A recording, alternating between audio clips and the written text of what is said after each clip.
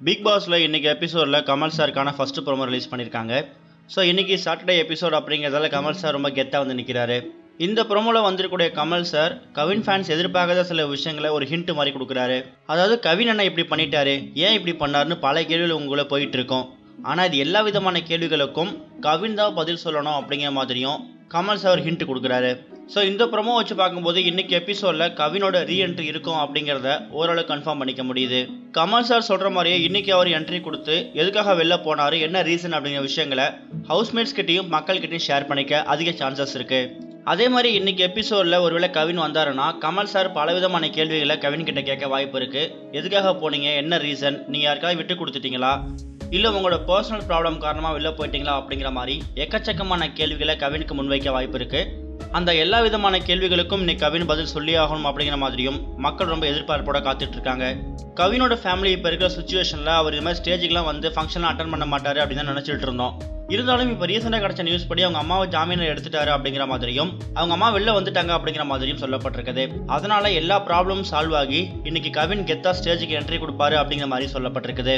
இன்னைக்கு கவின் ஸ்டேஜுக்கு வர்ற பட்சத்தில் கண்டிப்பாக கமல் சார் கவினுக்கு ஒரு ஹிண்ட்டை கொடுப்பாரு. நீங்கள் அவசரப்பட்டு தேவையில்லாமல் வெளில போயிட்டீங்க.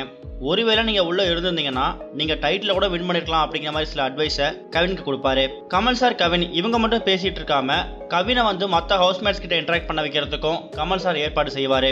ஸோ அகம் டிவி வழியே சாண்டி அப்புறம் லாஸ்டியா இவங்க கிட்ட கவின் பேசிட்டு இருப்பாரு. அது மட்டும் இல்லாமல் லாஸ்ட்லி அப்புறம் சாண்டி இவங்க ரெண்டு பேரையும் மறுபடியும் மீட் பண்ணுறதுக்காக கவினுக்கு கமல் சார் ஒரு சான்ஸ் கொடுத்தாலும் கொடுக்கலாம் அப்படிங்கிற மாதிரி சொல்லப்பட்டிருக்குது. அதாவது பிக் பாஸ் வீட்டுக்குள்ள கவினை மறுபடியும் உள்ள அலோவ் பண்ணி சாண்டி அப்புறம் லாஸ்ட்டாக வெயிட் பண்ணுறதுக்கு ஒரு சான்ஸை உருவாக்கி கொடுக்கலாம் அப்படிங்கிற மாதிரி சொல்லப்பட்டிருக்குது.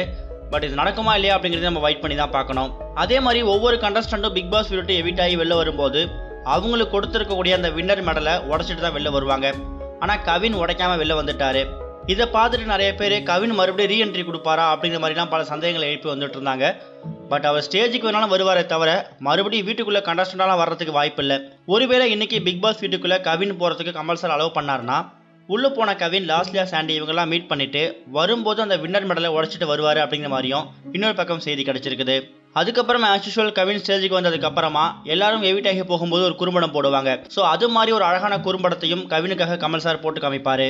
ஸோ கவின் இன்னைக்கு பிக் பாஸில் ரீஎன்ட்ரி கொடுக்குற விஷயம் கவின் ஃபேன்ஸுக்கு ஒரு ட்ரீட் அப்படின்னு தான் சொல்லணும். இதை பற்றி நீங்கள் என்ன நினைக்கிறீங்க அப்படிங்கிற உங்களோட கருத்துக்களை மறக்காம கமெண்ட்டில் போஸ்ட் பண்ணுங்கள் இந்த வீடியோ உங்களுக்கு பிடிச்சிருந்தா லைக் பண்ணுங்கள் ஷேர் பண்ணுங்கள் கனெக்டிங் ஒரு அப்டேட் தெரிஞ்சுக்கிறதுக்கு சேனலை சப்ஸ்கிரைப் பண்ணுங்கள் இது வரைக்கும் கனெக்டிங் டிவிக்கு சப்ஸ்கிரைப் பண்ணனா மறக்காமல் சப்ஸ்கிரைப் பண்ணிக்கங்க. உடனடி அப்டேட்ஸ் பெறுவதற்கு நோட்டிஃபிகேஷன் பெல்லையும் கிளிக் பண்ணிக்கங்க.